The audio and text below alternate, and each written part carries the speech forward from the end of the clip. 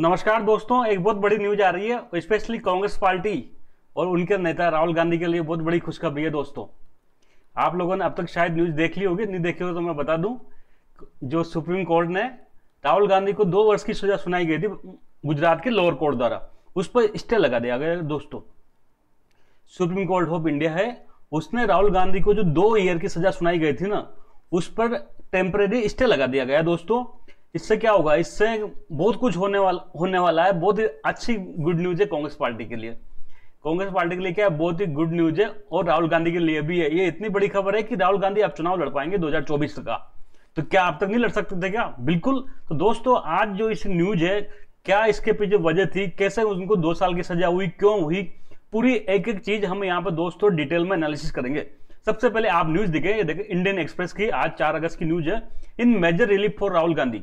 Rahul Gandhi ji को क्या हुआ? बहुत बड़ी राहत मिली है, जो सुप्रीम कोर्ट ऑफ़ इंडिया है, उसने स्टे कर दिया। स्टे कर दिया। किसको?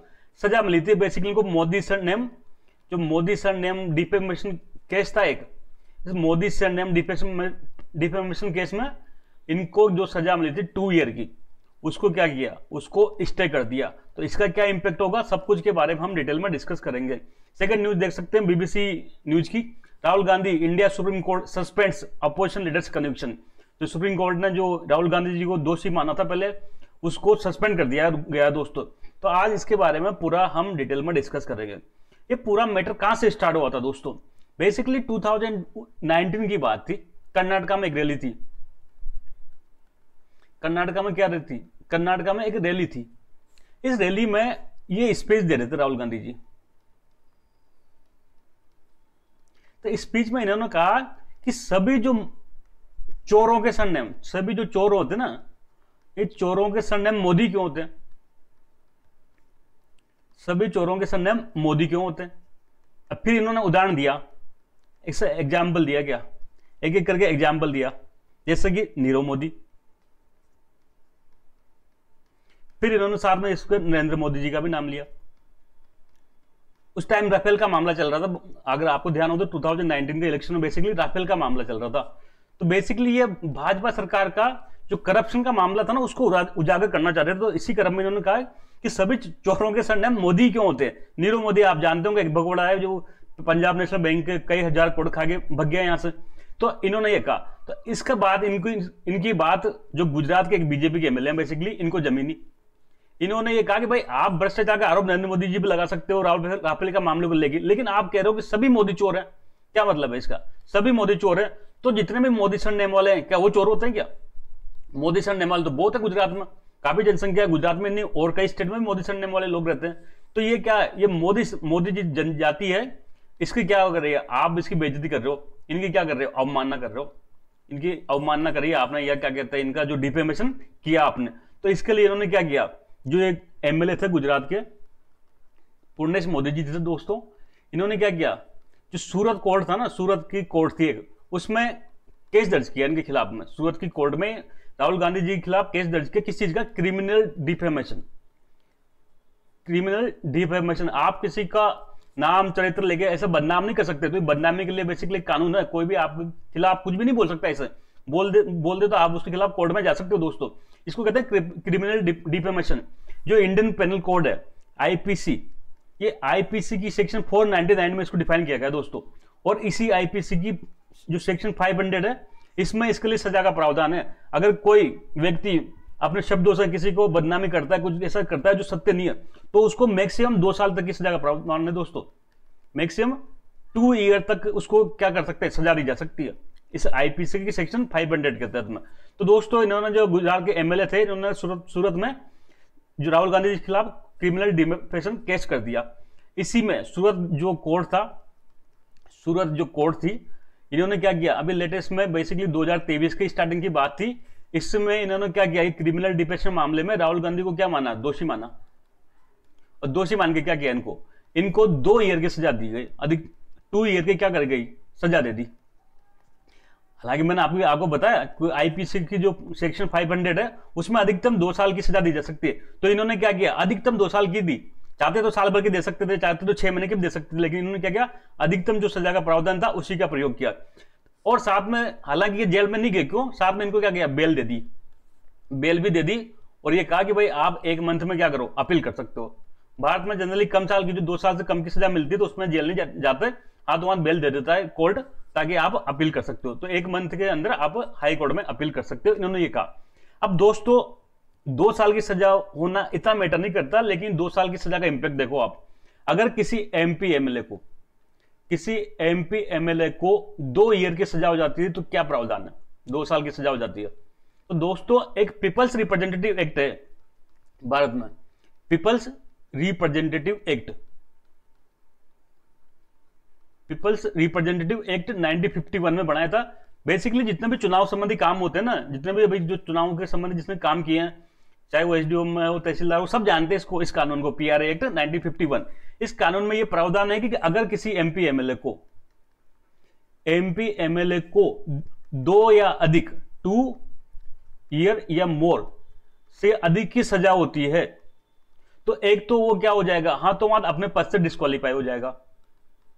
क्या हो जाएगा? डिस्कालीफाई हो जाएगा। अगर आप एमपी हो, अगर आपको दो साल की उससे ज़्यादा की सजा मिल रही है तो आपका पद तुरंत चल जाएगा। साथ में साथ में, छह ईयर तक नेक्स्ट सिक्स ईयर तक आप इलेक्शन नहीं लड़ सकते।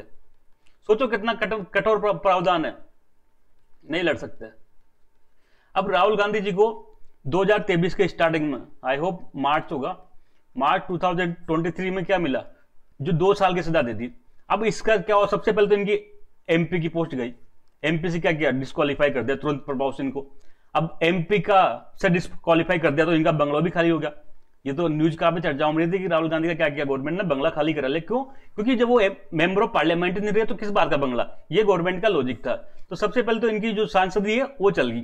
साथ में दोस्तों, ये 2023 की बात थी ना तो अगले छह ईयर सिक्स ईयर मतलब 2029 तक चुनाव नहीं लड़ सकते ये। तक चुनाव नहीं लड़ पाते। तो सोचो कांग्रेस पार्टी के लिए कितना बड़ा झटका होता है कांग्रेस पार्टी का जो मेन लीडर है, जो पीएम का सबसे बड़ा दावेदार है, वो 2024 के इलेक्शन में चुनाव नहीं लड़ पाता। अगले साल 2024 में जनरल इलेक्शन है, मई में। अगर राहुल गांधी जी को ये सजा बरकरार रहती, अगर अगर आज सुप्रीम कोर्ट स्टे नहीं देता तो क्या होता? तो वो है ना, वो 2024 का चुनाव नहीं लड़ पाते। 2029 की भी बात की बात थी, लेकिन 2024 का वो इलेक्शन नहीं लड़ पाते। पीएम बनना तो बात की बात है, वो पहले चुनाव नहीं लड़ पाते, सांसद ही नहीं बन पाते। ये इतना ज़्यादा चिंताजनक बात थी। तो बाद में इन्होंने अब ज़ाहिर सी बात है सजा मिलेगी तो, तो अपील करते ही है। तो गुजरात हाई कोर्ट में इन्होंने अपील करी। क्या किया? गुजरात हाई कोर्ट में इन्होंने अपील करी। लेकिन गुजरात हाई कोर्ट ने इनको दोषी माना दोस्तों। ये जो इनको सजा मिली ना इसको सस्पेंड करने से मना कर दिया। और इन्होंने ऐसा कोई मतलब इस पर कोई कार्रवाई नहीं करी। इन्होंने इसको क्या किया? एक तरह से सस्पेंड करने से मना कर दिया। तो अब जब आप जानते हो हाई कोर्ट अगर कोई खारिज कर देता है तो फिर हम कहाँ जाते हैं? हम जाते हैं सुप्रीम कोर्ट में। तो इन्होंने भी क्या किया? सुप्रीम कोर्ट में अपील करी। सुप्रीम कोर्ट ने आज चार अगस्त को इसका निर्णय दिया। सबसे पहले तो क्या किया? जो इनको दो साल की सजा मिली, उसको सस्पेंड कर दिया, रोक दिया। अब यहाँ इस चीज़ का अंतर समझ लो। सजा सस्पेंड करने का यह मतलब नहीं बरी कर दिया। राहुल गांधी को बरी नहीं किया। राहुल गांधी जी, जो ये दो साल की सजा मिली ये बरी नहीं किया। इसका केस चलेगा अभी भी। जब दोबारा हाई कोर्ट में इनमें ट्रायल होगा, वहाँ से बरी होने के बाद ही बरी होगा। तो मैं इस बात को क्लियर कर देना चाहता हूँ। कई लोग कंफ्यूजन हो सकता है। सुप्रीम कोर्ट ने राहुल गांधी जी को बरी नहीं किया है। बस वो जो सजा उनको सुनाई गई थी, उसको टेम्पररी स्टे कर दिया। तो इसका दो परिणाम होंगे। एक तो वो एमपी बन जाएँगे। वापस से क्या होगा? जब सजा पर स्टे लगा दिया सुप्रीम कोर्ट ने तो जो उनकी एमपी की जो सांसद की पद की खारिज हुई थी, वो वापस से वापस से बेक हो जाएगी और वो, ऐसा कह रहे थे लोग कि वो मंडे से क्या करेंगे? वापस पार्लियामेंट में जाने लग जाएँगे। मंडे से क्या होगा? वापस पार्लियामेंट में जाने लग जाएँगे। लोकसभा का जो अध्यक्ष है, उनको वापस से आदेश निकालना पड़ेगा और ये वापस से लोकसभा में जाने लग जाएँगे। दूसरा इलेक्शन लड़ पाएँगे। जो छह साल का रूल था ना वो वो खत्म हो जाएगा। तो ये क्या करेंगे? ये वापस से इलेक्शन लड़ पाएँगे। तो ये था पूरा मैटर इसको हम एक बार पीपीटी के माध्यम से आप देख सकते हो। न्यूज़ हमने देख ली थी, दोबारा आप न्यूज़ पढ़ सकते हैं। Major relief for Rahul Gandhi supreme court stays his conviction in Modi surname defamation case अब इसको दोबारा हम पीपीटी के माध्यम से और डिटेल में देख सकते हैं। सबसे पहले देखो न्यूज़ लंबी चौड़ी न्यूज़ है। इसके ऊपर मैटर क्या था? मैंने बता दिया। 2019 में कर्नाटका की रैली थी बेसिकली 2019 में जो आप जानते हो कर्नाटक जनरल इलेक्शन था, उसमें ये कर्नाटका में रैली में स्पीच दे रहे थे। तो इन्होंने कहा कि why do all thieves have Modi as their surname जितने भी चोर हैं, उन सबका सरनेम मोदी क्यों होता है? इन्होंने नाम लिया नीरव मोदी, ललित मोदी और नरेंद्र मोदी। तो तो फिर क्या हुआ? बीजेपी के जो एमएलए थे पुर्णेश मोदी गुजरात से एमएलए बेसिकली है। ये क्या हो गया? इनको लगा कि यार ये तो सभी मोदी को चोर बोल रहे हैं। तो मतलब मैं भी चोर हूँ और और भी जो मोदी संडे वाले सब चोर हैं। तो कहीं ना कहीं ये हमारा क्या है? ये हमारा डिफेमेशन है, हमारी बेइज्जती कर रहे हैं, हमको नीचा दिखाने का प्रयास है। तो इन्होंने कोर्ट में क्या कर दिया? क्रिमिनल डिफेमेशन केस दर्ज करा दिया, जो आपराधिक प्रकरण दर्ज करा दिया। मोदी कास्ट को बदनाम करने के लिए। फिर मैंने बताया बेसिकली आईपीसी की धारा जो 499 है, वो इसको क्रिमिनल डिफेमेशन को डिफाइन करती है और आईपीसी की धारा 500 उसको सजा का प्रावधान है। अधिकतम टू ईयर तक की सजा का प्रावधान है, इससे ज़्यादा का प्रावधान नहीं है। इसके बाद में बताया कि सूरत लोअर कोर्ट में, सूरत की कोर्ट में ये केस चला। वहाँ पर जज ने राहुल गांधी को दोषी माना और दो साल की सजा सुनाई। साथ में बेल दे दी कि भाई आप अपील कर सकते हो, जेल में नहीं गए। अभी दो साल की सजा सुनाने का एक इम्पैक्ट होता है, जो पीपल्स रिप्रेजेंटेटिव एक्ट है पीआर एक्ट कहते हैं, या या आरपीए भी कह देते हैं representative of people's act representation of people's act 1951 इसमें यह प्रावधान है कि दो साल से अधिक दोषी पाने जाने पर, दो या दो साल से अधिक दोषी पाए जाने पर एमपी एमएलए सबसे पहले तो पद जाएगा उसका, तुरंत प्रभाव से पद चल जाएगा। कई लोगों गए अभी आज़म खान का गया था उससे पहले भी वो अंसारी का गया है। बहुत लोगों का पद गया है सजा मिलने पर। छह ईयर तक इलेक्शन नहीं लड़ सकते। अब अगले छह साल तक चुनाव नहीं लड़ पाएँगे ये। तो 2023 की बात है 2028 तक चुनाव नहीं लड़ पाते ये दोस्तों। ये मार्च 2023 से सॉरी 2029 तक चुनाव नहीं लड़ पाते। तो ये बहुत बड़ा झटका होता कांग्रेस पार्टी के लिए। हाई कोर्ट में अपील करी, कोर्ट में सजा पर रोल लगा इनका मना कर दिया। लेकिन सुप्रीम कोर्ट में गए, सुप्रीम कोर्ट से फाइनली इनको रिलीफ मिली और क्या हुआ सजा को सस्पेंड कर दिया दोस्तों। वापस से क्या बन जाएँगे? एमपी बन जाएँगे और चुनाव भी लड़ पाएँगे। तो दोस्तों, ये थी पूरी न्यूज़। कांग्रेस पार्टी के लिए आज खुशी का दिन है। जश्न तो मनेगा ही मनेगा। तो दोस्तों, इतना ही। जल्द मिलेंगे तब तक के लिए। थैंक यू जय हिंद।